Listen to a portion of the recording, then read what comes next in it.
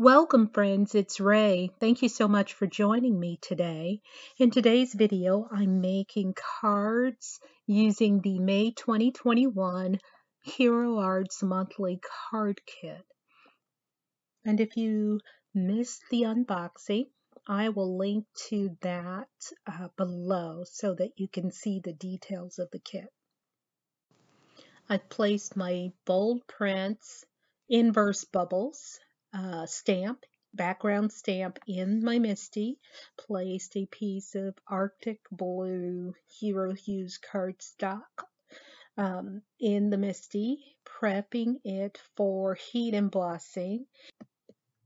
I'm using Hero Arts Midtone Navy ink to stamp my background. I stamped that three times for good coverage and am using the embossing powder underwater embossing powder that came in the kit and to heat emboss.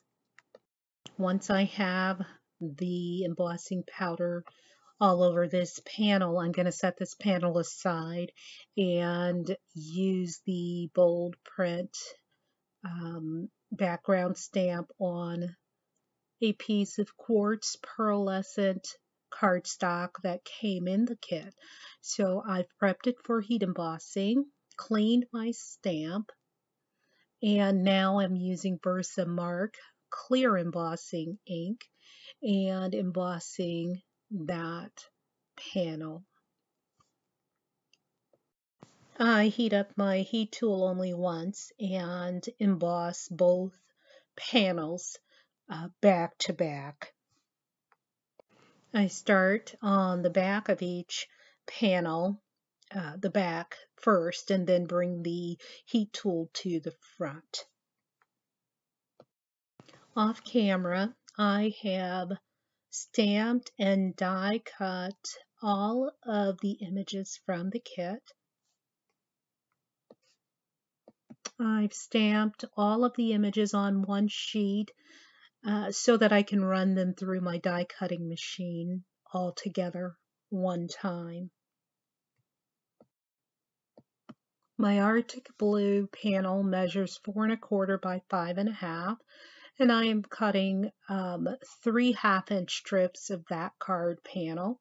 And my quartz pearlescent cardstock measures four by five and a half, and I am cutting two half inch strips of that cardstock. As you probably guessed, I am making a slimline card uh, that measures three and three quarters by eight and a half inches. And I'm just uh, here laying out how I want my panel to look. I'm using the grid lines on my craft mat to space out uh, my focal pieces and we'll use some low tack tape to kind of mark the spot um, where I want to adhere these strips to my card panel.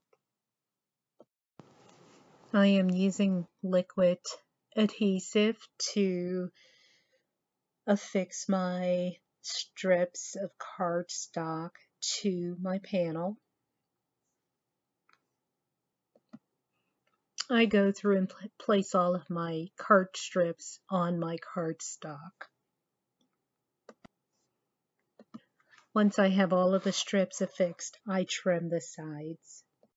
Next, I work on my sentiment, and um, had I planned it out a little differently, I would have spaced it so that I could stamp my sentiment directly on the panel well, didn't think of that. So I am actually going to hopefully frame this sentiment so that um, it appears as though it was stamped, you know, direct on the panel. So that's what I'm doing here. I stamped my sentiment with Hero Arts Intensified Black ink. I affix my sentiment to the panel using liquid glue and now am placing my images on the panel and I actually took the large coral sea anemone image from the stamp, cut the top off because I just wanted the bottom, and then I um, used my alcohol markers to color that off camera.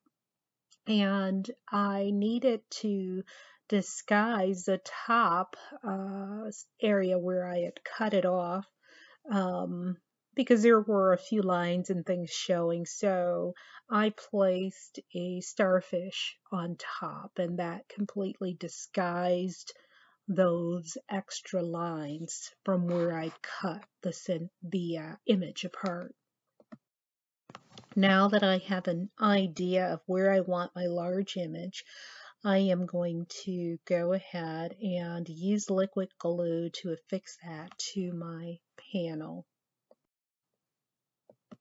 To give dimension to my fish and my third starfish, I am popping those up on um, EK Tools 3D dots foam squares and am taking the release paper off of each. And um, I take the paper off of the smaller pieces first because that's easier for me. Next, I'm going to trim the excess off of the sides and then I will take my panel and mount it directly onto my card base. I've partially removed the release paper from the double-sided tape that I used on the back of the panel. And then once I get this affixed where I want it, I will remove the remaining release tape. And I'm placing some low-tack tape inside of my panel just so that it will lay flat and I am now using Nuvo Crystal Morning Dew Drops to add some clear uh, bubbles to my panel. Card number two is a slimline card. I made this panel uh, during a play date with my gel press and I did not film it. So I will have to do a video uh, using the gel press or the gel plate uh, at a later date. At any rate, I used uh, distress inks. I used um, peacock feathers and chipped sapphire and picket fence um, to make this panel. And I love the way that came out. It looks like little mini bubbles and spots. So we'll show that process in a future video. And here I have, um, my gel press is five by seven. So uh, my slimline cards usually measure eight and a half inches long so I had to piece this together. And I do have a video on how I um, piece together papers for my slimline cards if they're not long enough. And that's exactly what I did here. And I used a, a Deco Foil opal, which is more of a translucent foil, to um, affix on top of my double-sided tape. I will try to link to that video where I show this process in detail. Here I'm using waffle flower A7 dies to cut out a window from white cardstock. And I am using the the die that's three and a quarter by four and three quarters. And I've die cut it once. I'm going to uh, place it back in my die cutting machine. I am using the grooves from the first cut to line up the second cut and tape that together. Um, using low tack tape. And this frame measures three and a quarter by seven and three quarters. I'm affixing a double-sided tape to the back of the frame. I am going to affix my white frame to my focal panel that measures three and a half by seven and seven eighths. I have stamped my sentiments off camera and am using two of them and placing them at an angle and trimming them down to fit just inside of my white frame. I did heat emboss my sentiments using Brutus Monroe Alabaster White uh, embossing powder. Now I'm affixing my images to my focal panel using liquid glue. I want a menagerie of sea life in this scene. So the whole scene is underwater. Uh, so I'm affixing the jellyfish and the seahorse, the clownfish, the two other fish from the kit, uh, some clams, and um, a coral type water plant. Using my scissors, I trimmed off a little excess from this fish and then used my black gel pen to color in uh, the eye and some liquid glue to affix it to my panel. Now I'm bringing in my clownfish. Now I'm mounting it to the card base and we'll use my Nuvo crystal glitter drops in White Blizzard to add some sparkle and shine uh, and clear bubbles to this card. You'll notice that I used the images at the bottom to cover the connecting panel uh, pieces so you can't even tell that this panel uh, these were two different card pieces. My third card for this video is an A2 card. I'm using Hero Hues Paradise cardstock. I am taking the large coral sea anemone um, image, uh, the die, and taping that using low tack tape, taping that onto my cardstock and am going to do some partial die cutting. Once I get it positioned and taped to my card base, I am going to use my um, die cutting plate, place it partially over the image and die cut. Um, and it's only going to cut where my die plate uh, rests on the paper, so it won't cut anything beyond the top die plate. Then I take my scissors and snip, uh, snip the die cut part off. And I'm left with a partial die cut of the large image. Lovely. I've placed that large stamp in my MISTI, prepping my Hero Hues Paradise cardstock for heat embossing. Using my VersaFine Onyx Black ink, I am going to stamp the image here. I'm using clear embossing powder to emboss the image. I looked up sea anemones and uh, see that they come in many different colors um, and spotted blues and purples, which I wanted to use in my design. So I am loving this. Here I'm using some low-tack post-it note tape to tape uh, the inside because I want to stamp on my right, on the right side of my card base. So I have my inverse bubble stamp in my MISTI, placed my cardstock uh, down, and prepped it for heat embossing. And now I'm using Peacock Feathers Distress Ink And as soon as I put my stamp to paper, I thought, oh, I should have moved my panel over a little from the left, so a little bit more to the right. Um, but I will fix that in just a bit. So inking up this panel, I am going to use Hero Arts White Satin Pearl ink because it leaves a pearly sheen um, and maintains the color underneath, which is, is what I want. It actually mutes the color just a bit, so it softens it.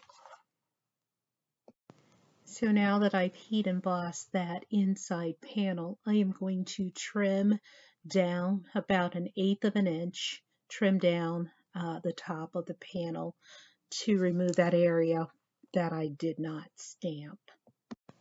So this is a piece of white cardstock from the frame that I cut in card number two. And I'm just placing it on the inside of my panel and trimming it down a bit so that the white does not show through my front panel. And then I'm going to use liquid adhesive to adhere this to the inside of my card. This gives me a place to write my message. And so I'm holding this together with my tweezers and then I will just fold that in, place a clear acrylic block on top, um, and then start to work on the front of my card.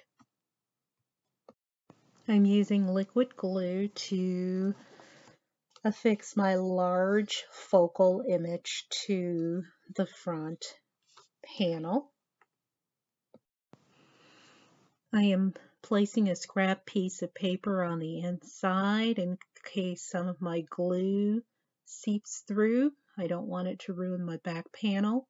And I am just lining my focal image up on the partial die cut panel, trimming any excess uh, from the edges and beautiful. I stamped my sentiment on black cardstock using white, um, alabaster white Brutus Monroe embossing powder and heat set that off camera and now am figuring out where I want to place my sentiment strip I cut a blank black strip, same size as my sentiment strip, to use as a backing. So I've used liquid adhesive to place my sentiment on the front. I place liquid adhesive on my backer strip of cardstock and then place that and line that up with my front sentiment strip um, and then affix that down, place an acrylic block on it to let it set. I place a seahorse on the inside and make sure it doesn't show through to the front. Uh, place that on the inside uh, on my white panel and it's at this moment that I decide I want something on the left side of my card. And I remembered the bubbles from the kit and yay, pulled those out, pulled out my peacock feathers distress ink and applied bubbles to the left side of my front panel. Lovely. Can you tell I got really excited about these bubbles because I thought the left side of my panel was pretty plain. So I am loving these bubbles. And when I'm done with the bubbles, I'm going to bring in some Studio Katia Magic Mint 4 millimeter, 4 millimeter sequins and add those throughout the left side of the design and I apply those or affix those with my Ranger Multi-Matte Medium Glue um, with a little precision tip. Lovely. I place a final bubble on the inside right above the seahorse. Let's take a look back at all of the cards I made in today's video. Let me know in the comments which card you liked best. As always, thank you so much for joining me today. And If you like this video, please give me a thumbs up. And if you've not subscribed, please subscribe to my channel. Until next time, good day, friends.